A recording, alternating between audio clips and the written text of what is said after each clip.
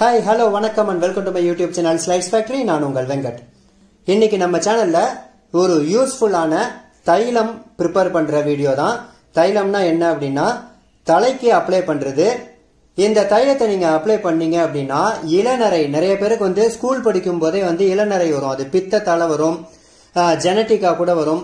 So இதை போல இளநரையெல்லாம் வந்து கம்மி பண்ணி உங்களுடைய முடியை நல்லா கருமையாக்கக்கூடிய ஒரு இயற்கையான தைலம் தேங்காய் எண்ணெயோட கலந்து யூஸ் பண்றது. நம்ம வீட்லயே எப்படி ரெடி பண்ணலாம்னு பார்க்கலாம். இந்த தைலம் வந்து கற்பூரவள்ளி இலைன்னு சொல்லக்கூடிய அந்த இலையை வச்சுதான் வந்து நான் பண்ண போறேன்.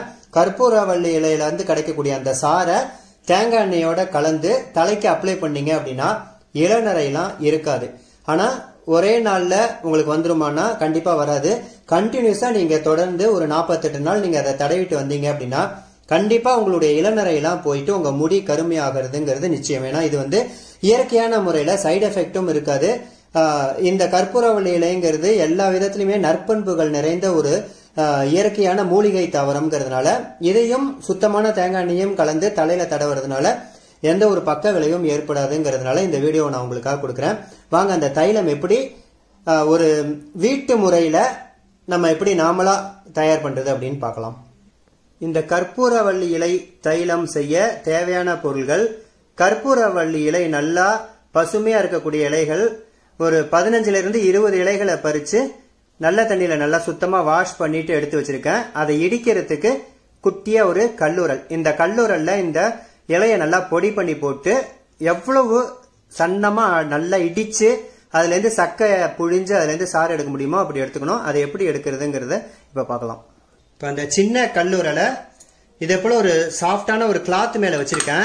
ஏன்னா வெறும் தரையில் வச்சு இடிச்சிங்க அப்படின்னா அந்த மொசைக் தரையில் பட்டு பட்டு நிறைய சவுண்டு வரும்ன்றதுனால நான் அதை வந்து ஒரு துணியில் வச்சுருக்கேன். அதுக்கப்புறம் இதே போல் அந்த இலையை வந்து கொஞ்சம் சின்ன சின்னதாக கிள்ளி இதில் போட்டுக்கோங்க.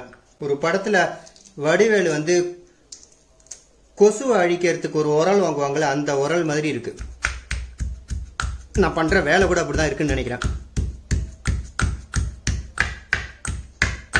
நல்லா இடிச்சுக்கோங்க. நல்லா இடித்து அடியில் உங்களுக்கு வந்து அது வந்து மசஞ்சிடுச்சு அப்படின்னா இன்னும் கொஞ்சம் இலை போடுறதுக்கு இடம் கிடைக்கும்.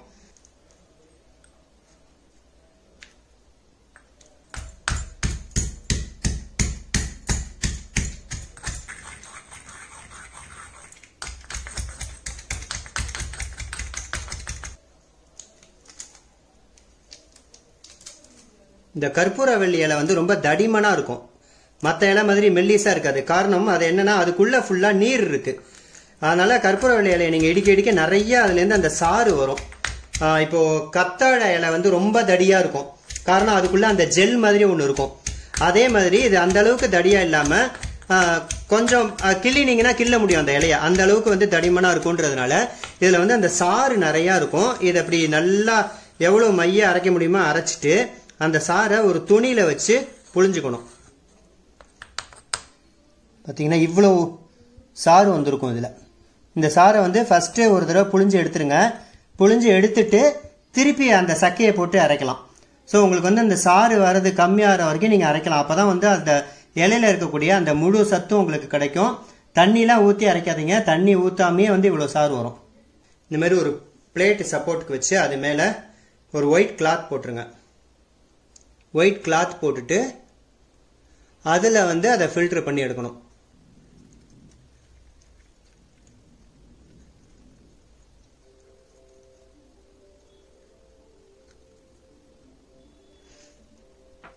இதை அப்படியே மூட்டை கட்டி நல்லா சின்னதா இல்லைன்னா உங்களுக்கு வந்து தலையில் வந்து அந்த இலையெல்லாம் ஒட்டிக்கிட்டு நல்லா இருக்காது. நீங்கள் நான் எவ்வளோ ஃபைனாக ஃபில்ட்ரு ஃபில்ட்ரு பண்ணி எடுக்கிறீங்களோ அந்த அளவுக்கு வந்து உங்களுக்கு அது வந்து தலையோட போயிட்டு அந்த ஸ்கல்ப்லலாம் இறங்கி உங்களுக்கு வந்து அதோட எஃபெக்ட் நல்லா இருக்குன்றதுனால தான் இதுமாரி ஒரு ஒயிட் கிளாத்தில் ஃபில்ட்ரு பண்ணிவிட்டு அந்த ஃபில்ட்ரு பண்ண இந்த சாரை தான் வந்து தேங்காய் எண்ணெயோட கலக்கணும்.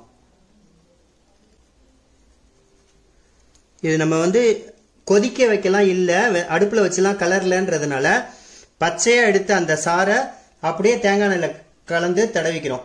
அதனால் இது எப்போ அப்போலாம் உங்களுக்கு வந்து இது மாதிரி லீவ் நாளில் ஆஃபீஸோ ஸ்கூலோ காலேஜோ போகாமல் வீட்டில் இருக்கக்கூடிய நாட்களில் நீங்கள் இதை போல் தலையில் தடவிட்டு அன்னைக்கு ஃபுல்லாக ஊறலாம். இது வந்து வச்சு யூஸ் பண்ண முடியாது. அதனால் நீங்கள் ஃப்ரெஷ்ஷாக அப்பப்போ செய்கிறது தான் நல்லது. இப்போ நான் அந்த பு- புழிஞ்சதுக்கு அப்புறம் இருந்த சக்கையும் எடுத்திருக்கேன். எடுத்து இதை திருப்பி நல்லா இந்த உரலில் போட்டு நசிக்கணும் அப்படின்னா அதுலேருந்து இன்னும் கொஞ்சம் சாறு வரும். ஸோ அதை போல் உங்களால் எத்தனை தடவை வந்து நசிக்க அந்த சாறு எடுக்க முடியுமோ அந்த அளவுக்கு அதை எடுத்துருங்க. எடுத்து அதை வேஸ்ட் பண்ணாமல் ஃபுல்லாக எல்லா சாரையும் எடுத்ததுக்கப்புறம் அந்த சக்கையை தூக்கி போடலாம்.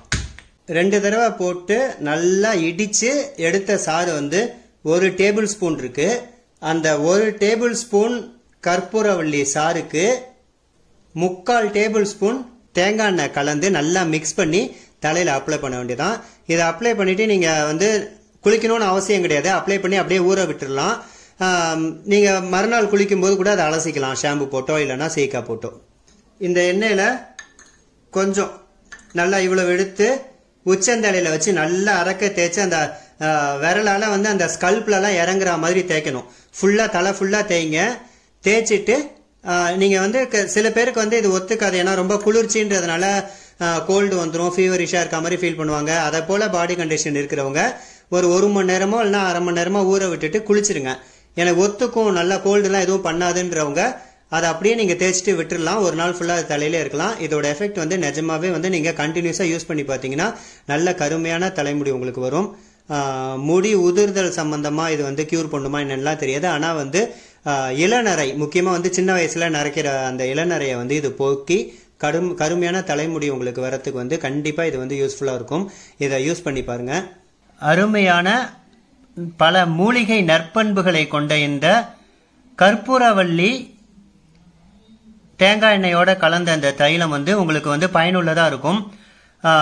இதை உபயோகப்படுத்தி பாருங்கள் உங்களுடைய நரைமுடி வந்து குணமாச்சு அப்படின்னா கண்டிப்பாக இதை வந்து ரெகுலராக நீங்கள் வந்து உபயோகப்படுத்துங்க. நல்ல பலன் கொடுக்கும். இது வந்து கெமிக்கல் எதுவுமே கலக்காமல் நம்பகமான முறையில் நாமளே வீட்டில் தயார் பண்ணுது அப்படின்றதுனால உங்களுக்கு வந்து இதில் இதை வந்து நீங்கள் நம்பி யூஸ் பண்ணலாம்.